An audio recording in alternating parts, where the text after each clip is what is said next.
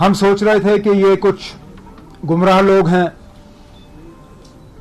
जिनके अकल टिकाने हैं नहीं, और वो हालात का फ़ायदा लेने की कोशिश कर रहे हैं। लेकिन एक दो दिन से लग रहा है कि इन ताकतों को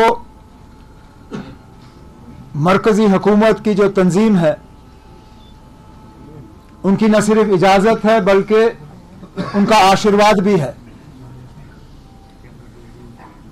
परसों एक रियासत के गवर्नर ने खुल्लम खुल्ला मुल्क को यह कॉल दी कि कश्मीरियों का बॉयकॉट होना चाहिए। उनसे कोई सामान नहीं खरीदा जाना चाहिए। अमरनाथ की यात्रा के लिए यहाँ लोग नहीं आने चाहिए। टूरिज़्म में वो बाकी जगह जाए, लेकिन किसी टूरिस्ट को कश्मीर नहीं आना चाहिए।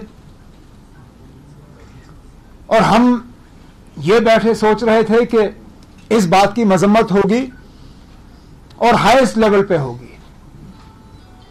हम उम्मीद कर रहे थे कि जिस प्रधानमंत्री, जिस वज़ीर आज़म को हमने लाल किले से सुना था, ये कहते हुए कि कश्मीरियों को गोली और गाली से नहीं गले लगा के हम करीब लाना चाह, हमें लाना चाहिए।